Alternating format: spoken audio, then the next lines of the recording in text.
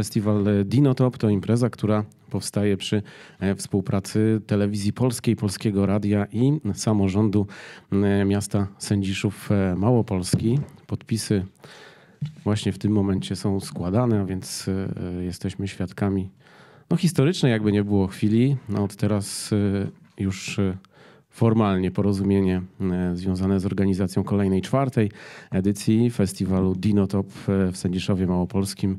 E, To porozumienie zostało podpisane, chociaż oczywiście nie będziemy ukrywać, że tak naprawdę przygotowania do samego festiwalu, chociażby pomysły na to, kogo zaprosić, to panie Jurku chyba już podczas poprzedniej edycji już się pojawiły i ten prawie rok, który upłynął, to był tylko czas takiej negocjacji, różnych umów, kontraktów, pomysłów. No ale teraz już wiemy, panowie podpisali dokument, to możemy zapowiadać. Dobrze, najpierw pokażmy podpisy. Chwila dla fotoreporterów.